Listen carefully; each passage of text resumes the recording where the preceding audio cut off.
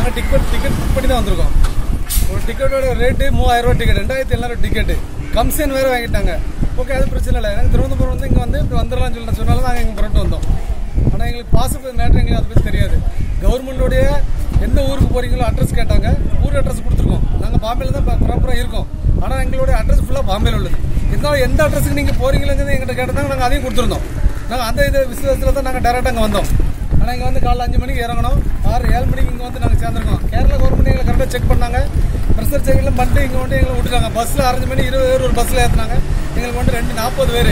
மொத்தம் வந்து ரெண்டு பஸ்ஸில் வந்து இங்கே இறக்கிட்டோம் ஆனால் இதுக்கு பிறகு இங்கே வந்து யாருமே எங்களுக்கு கேட்கல எல்லாரும் வந்து பேரை மட்டும் எழுதிட்டு போகிறாங்க நீங்கள் எங்கே போகணுங்கிற மாதிரி கூட நான் ஆக மாட்டேங்குது. நான் போகணும் திருச்செந்தூருக்கு போகணும்.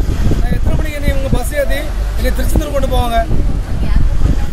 நான் தூத்துக்குடி மாவட்ட மாவட்டம் திருச்செந்தூர் எனக்கு ஊர். நான் எனக்கு அங்கே போனோம். எனக்கு ஒரு கை குழந்தை இருக்கு. மூணு வயசில் ஒரு பிள்ளை இருக்கு. யார் கூட்டு போவா?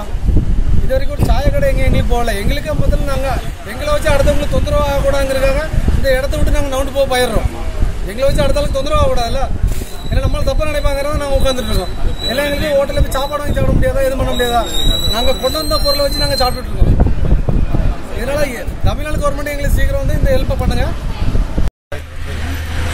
மாவட்டம் நம்முடைய சொந்த ஊர்களுக்கு ஐம்பதுக்கும் மேற்பட்ட தொழிலாளர்கள் மோரி மாவட்ட எல்லையான நெடுக்காவடியில் தங்க வைக்கப்பட்டிருக்கிறார்கள்.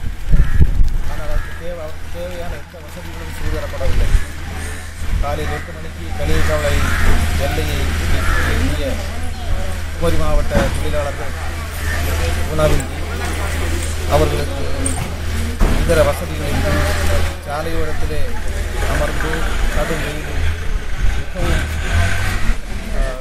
மிகுந்த கஷ்டங்களுக்கு ஆளாக்கப்பட்டிருக்கிறார்கள் வருவாய்த்துறை அதிகாரிகளை சந்தித்து உடனடியான உடனடியான அவர்களுக்கு மாற்று ஏற்பாடுகள் செய்வதற்காக நான்கு மணி நேரமாகி எந்தவிதமான நடவடிக்கை மேற்கொள்ளவில்லை எனவே மாவட்ட நிர்வாகமும் தமிழக அரசும் இந்த தலையிட்டு உடனடியாக அவர்களுக்கு உரிய வசதிகளை சொந்த ஊர்களுக்கு திரும்ப வசதிகளை செய்து கொடுக்க வேண்டும் என்று மார்க்சிஸ்ட் கம்யூனிஸ்ட் கம்யூனிஸ்ட் கட்சியின் சார்பில் பணிவாக கேட்டுக்கொள்கிறேன்.